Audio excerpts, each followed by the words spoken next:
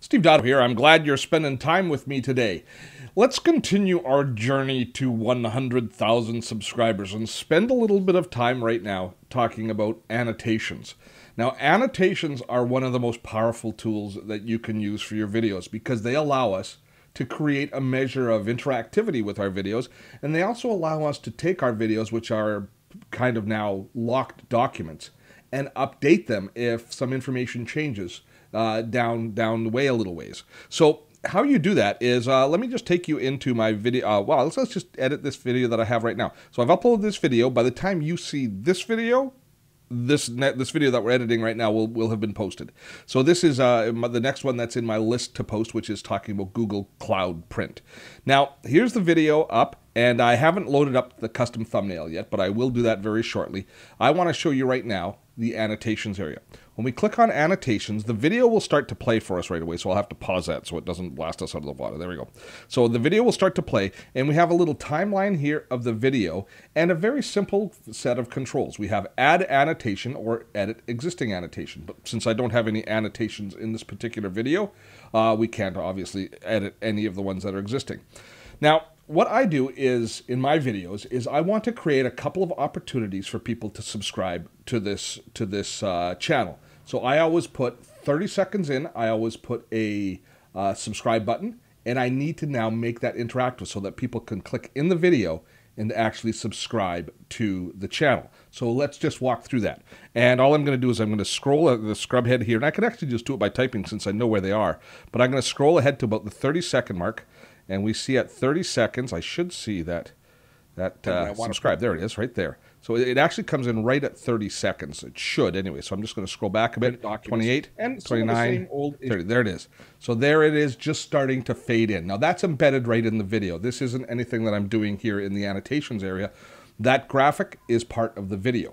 But what I'm going to do now is I'm going to add an annotation, which is basically, in this case, I'm going to add a button over the top of it that is another layer that people can click on. And there's a variety of different types of annotations that we can do. And maybe before I show you that one, I should show you the, yeah, I will. These are the types of annotations that you can do. You can do a speech bubble, which if I click on it, it brings up one of these little bubbles. And you see it's got that little kind of tail that allows you to kind of create a thought or a speech bubble. And now we can type into that particular annotation we can make it, they don't give us a lot of font control. If we make it impact, it kind of makes everything a little bit bolder. We can make it relatively large.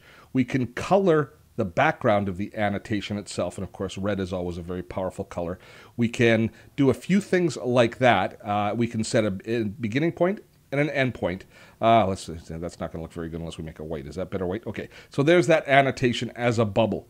Now, here is the key to all of the annotations. If you just need to update information saying, um, you know, the price has changed on this particular product, I'll show you an example of that in a moment. Uh, but if you need to do that, you can just create this as a as a graphic, and you can just in down here in the timeline. We can choose how long it's going to be when it appears. Uh, and that's the basic control we have over it. When we start adding links to it, that's when it starts to get really interesting and exciting. We create these sorts of links. We can create a link to a video, to a playlist, to a channel, to a Google Plus profile page. We can create a subscribe button. We can add fundraising projects and associated websites, which I find uh, very exciting. Uh, as you climb in the status within uh, YouTube's partnership programs, you will reach a point where they will invite you to associate your website, which means all of these previous links just link to something within the Google universe associate websites allows us to link outside of the Google universe and link to our own website. Now, you can't add multiple websites and it has to be relevant to the content.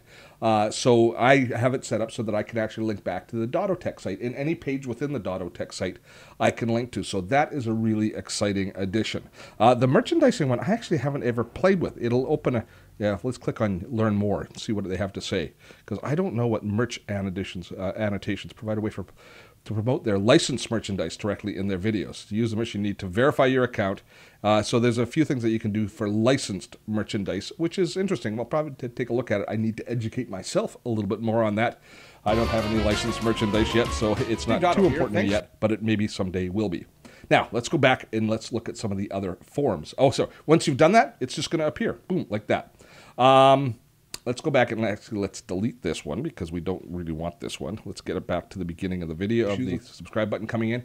Adding annotation. So speech bubble. Note is very similar. It's just a note. A title will create a nice big broad title, which you, if we type in a title here, it's a big, it'll be bigger text and it will look like a title. And a lot of people use this for the titling of their videos. I do all of that sort of graphic work in the video editor. It's if you don't, if you're uploading video directly from your camera phone or something like that, you might want to go in here and add titling and stuff using the annotations. It's a great way to do that. And you've got a few more uh, options when you're dealing with uh, the title as opposed to the the uh, uh the speech bubble or the note. And the one that I'm going to use actually though, let's just delete this one again. The one that I'm going to use is the one called Spotlight. And I'm not sure if this is the absolute perfect one to do. I think it is the correct one. What it does is it just kind of creates a transparent button that I can put and I can place right over top of what it is that I want to make clickable. And then all I do is I position that there and then I create a link.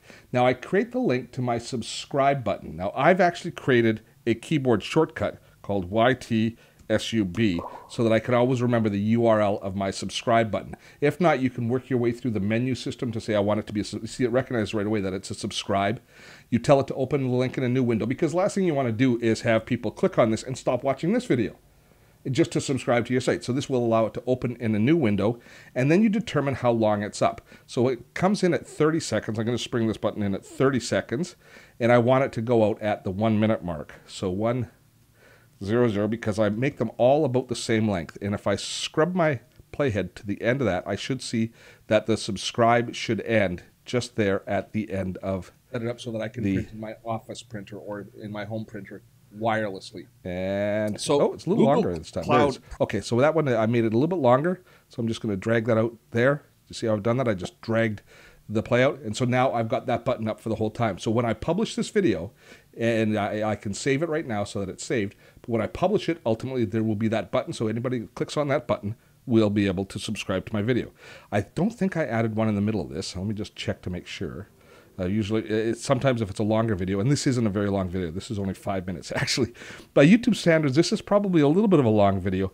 By Dotto standards, it's not particularly long. So let's go to the end of the video and let's do one more subscribe. So I'll just I'll just bang through it in real time like I would, so you can see how long it takes me to actually do this. I, I sing when I am doing it often. setting up that wireless printer. There it is, right there. It starts. I add annotation, a spotlight, position it over top of where I want it to be. Just bring these things down. And I don't know if it actually makes a difference to bring them down. I always just do. Add a link. The link is hashtag sub. There we go. That is set. I stretch it out to the end of the video, and then I come back a bit because I've got a little graphic bumper at the very back that I don't really want the button up for, and I make sure that it this ends before that graphic bumper goes. And can go just a little shorter now. There we go. There's the beginning of the graphic bumper. I save it, and I publish it, and now I have those two subscribe buttons inserted in that video and ready to roll. It's that easy to do. Now, before we go on, though, I want to show you another way that you can end up using annotations and how they end up very valuable. I'm going to go back to my list of videos, and I published a video about a week ago, a week ago my time right now. When you watch this video, it could have been any time. Uh, but it's this one right here. Google Drive, six awesome features, six features that make it awesome. And a day after I posted the video and published it, made it public, Google changed the pricing on the product. And so the video, right in the middle of the video, I talk about the pricing. So what I did is I go in and I edit it right away. As soon as I heard that, I go in and I head into my annotations for this one. And let me just pause it so that it won't make a bunch of noise. There it goes. And if we take a look right here is where that are literally day one day after I posted this video, Google changed the price. So I put in this, and in this case here, I used a speech bubble.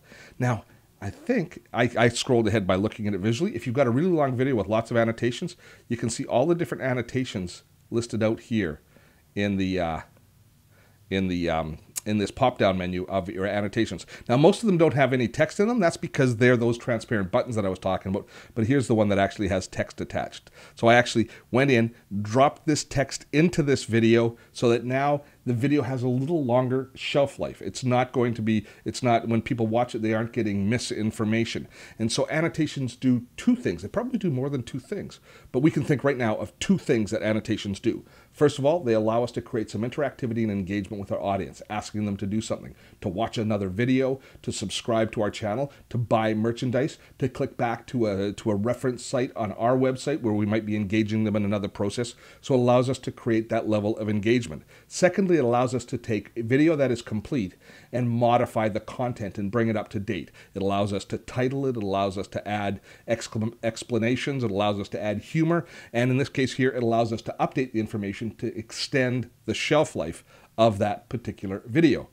I hope that you found this video today to be useful. I'm on this journey to try and grow our channel to 100,000 subscribers. And each of these videos, I'm going to talk about one of the different things that I do and things that I'm modifying and things that I'm learning about marketing and publishing in YouTube and becoming a, a proficient YouTube publisher. I hope that you learned a lot from it today. If you have, please comment down below. You got to do two things. First of all, you got to subscribe. Subscribe to our channel. I certainly appreciate that. And let your friends know to subscribe. And while I'm at it, it wouldn't hurt you to share a little bit. So click down beneath the video on the sharing icons and maybe share this on YouTube and let, and let people, or share it on Facebook.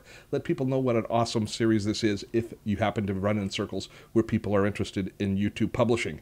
And finally, uh, I got to thank you very much for spending the time with me today. There'll be another video out very shortly on this topic, please comment below. I reply to all the comments. Give me suggestions of things that you want to learn about and enjoy this journey to 100,000 subscribers.